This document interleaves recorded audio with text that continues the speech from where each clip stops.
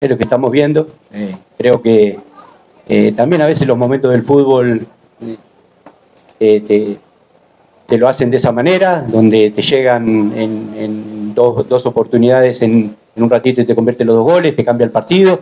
Hay veces que la pelota va afuera, no entra, entonces creo que hoy, hoy en día no estamos pasando con un momento, no diría de, de volumen de juego, porque creo que el equipo hizo un gran partido, igual lo hizo por momentos en San Marco, pero no estamos contando con, a veces con el factor suerte que, que, sí se tiene que contar en el fútbol también.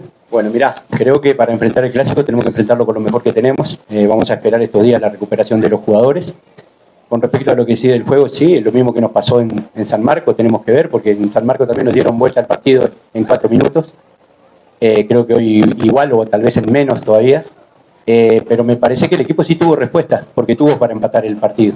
Lamentablemente no, no, no lo hicimos, incluso hay una jugada anulada eh, este, de parte del VAR, eh, que tampoco la he visto todavía, este, pero también hubo un par de jugadas también en el primer tiempo donde se podría haber revisado y no se revisó tampoco. Entonces creo que, que, es lo que tenemos que ver. No podemos, este, ante un gol creo que decaer tanto, pero creo que después el equipo sí tuvo rebeldía y trató de ir arriba, tal vez más a empujones que a fútbol como lo hizo en el primer tiempo, pero, pero no creo que no, que, estoy de acuerdo contigo donde decís que no tuvo respuesta.